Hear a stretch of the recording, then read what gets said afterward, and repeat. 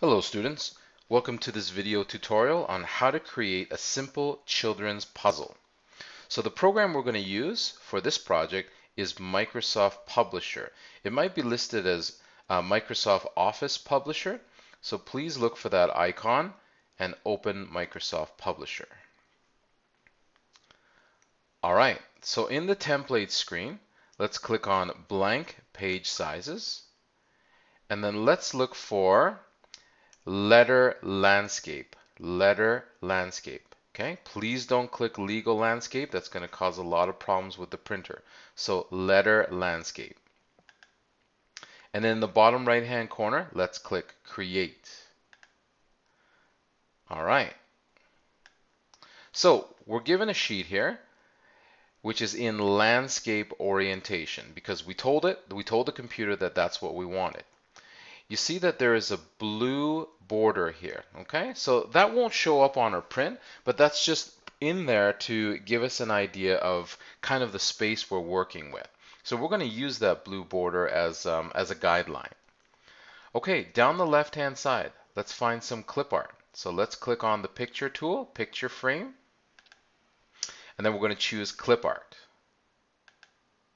So what I want you to do is, remember we're trying to create uh, a very simple puzzle for a young child. So I want you to choose something that is fairly child friendly or kid friendly. So I'm going to choose butterfly.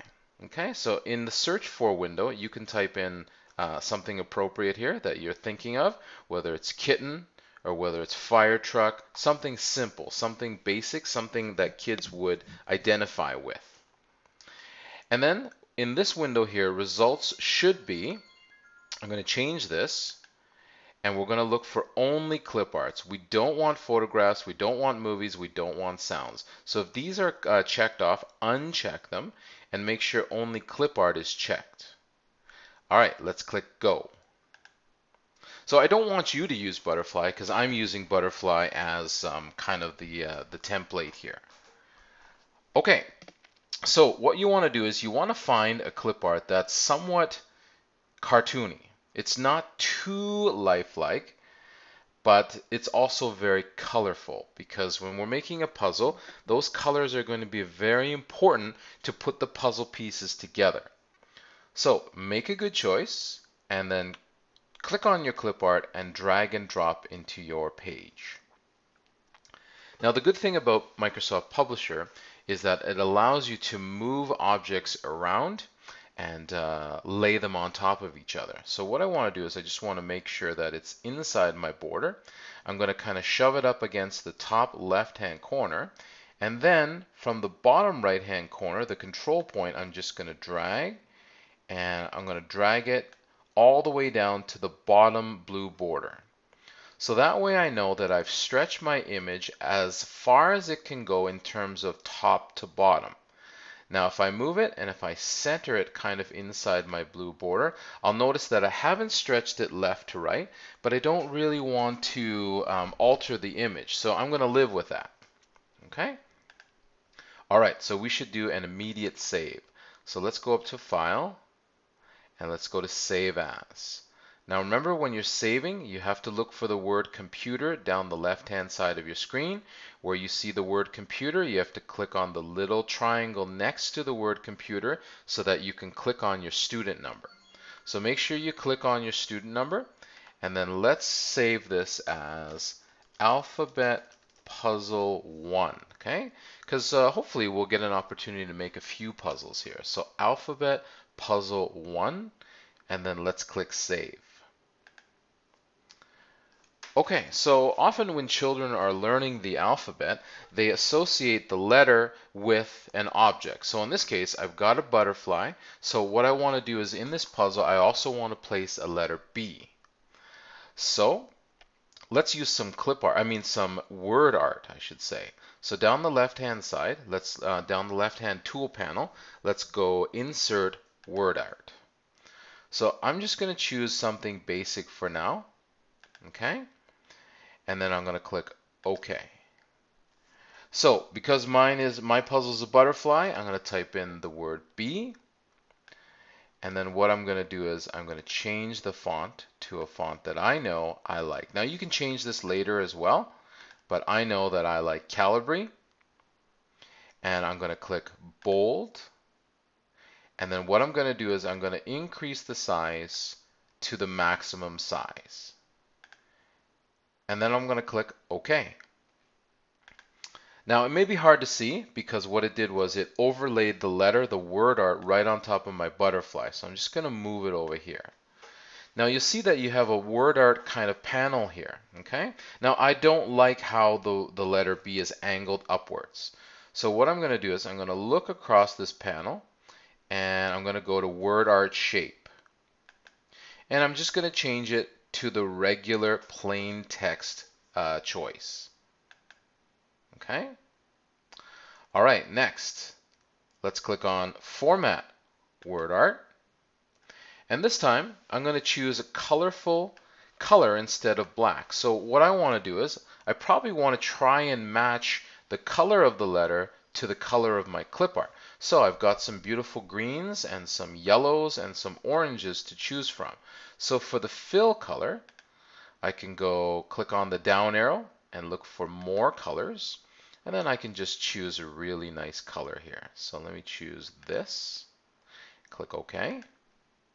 And then I can also change the outline. There's actually an outline here. So I'm going to keep the outline color black, but I'm just going to make it a little bit more prominent under weight.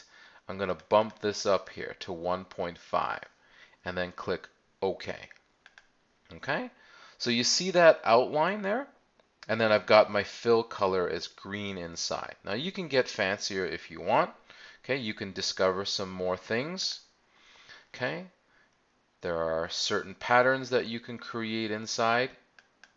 Okay, if you go to fill effects, you experiment, make it really nice.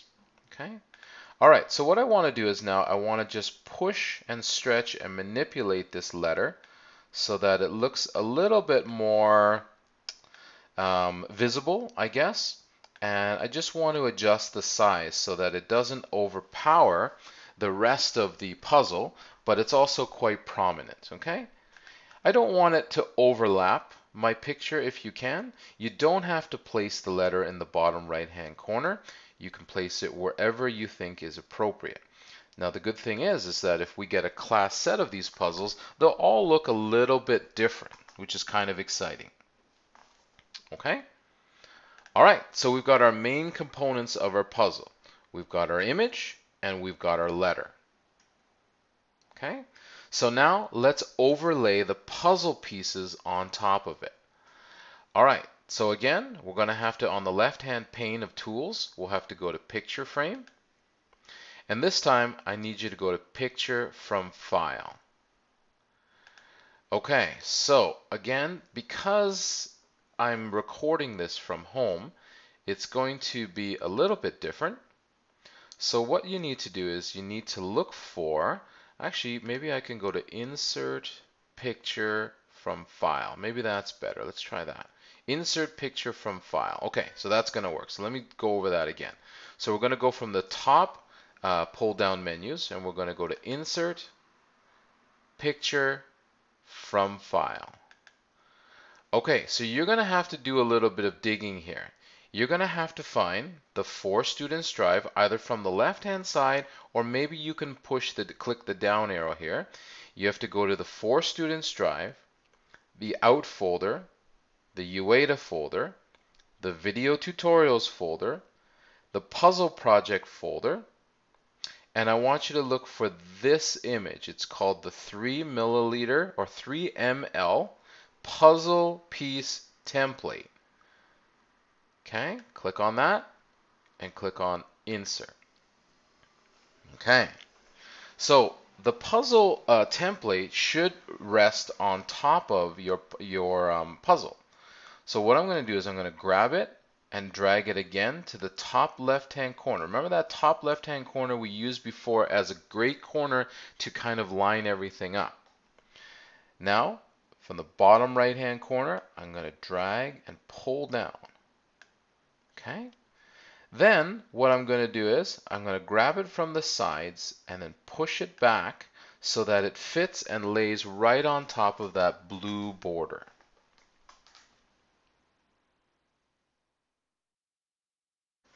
Okay, so let's click, let's deselect, let's click in a white margin, in the white margin here, and let's save. Okay, now Remember those that blue guideline, that margin guideline that Microsoft Publisher gave us? Well, the printer will actually print slightly outside of that line. So what I want to do is I want to zoom in pretty far here. So let's zoom in to 150%. Okay, and then what I want to do is right near the bottom right hand corner of the puzzle, I want to insert a very small uh, text box. So down the left hand side, let's click on text box. And then when you drag your mouse onto your project, it'll be just a plus sign. So I want you to click your mouse, hold, and then drag down here. Okay? And then what I want you to do is I just want you to type your name so then I know whose puzzle it is. And then what I want to do is I want to drag that box so it's not quite touching the border. Okay. It doesn't matter what font it is because this is actually not going to be part of the puzzle. This is just so I can track whose puzzle it is. Okay, let's zoom out again. So let's go back to 100% or maybe even 75. Let's see if 100% will allow me to see the whole image. Yes, it will. Okay, so the last thing I want to do is I want to create a very thick, prominent border around the outside. So we're going to achieve that just by using the rectangle tool on the left hand side. So let's click on the rectangle tool. I'm going to again start in the top left hand corner and I'm just going to drag a rectangle directly on top of my puzzle. Now you might be thinking, well, what was the point of that? Because you can't really see it. Well, the point is, is that now we can bump up that border and we can make it, like I said, quite prominent. And this is going to help not only in the cutting of the puzzle pieces, but also in the framing or knowing which which are the edges. Okay, this is just going to help whatever young child or whatever student is going to work on this puzzle.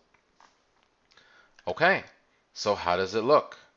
So again, this is just a video on how to make a very simple puzzle. You can make it more elaborate.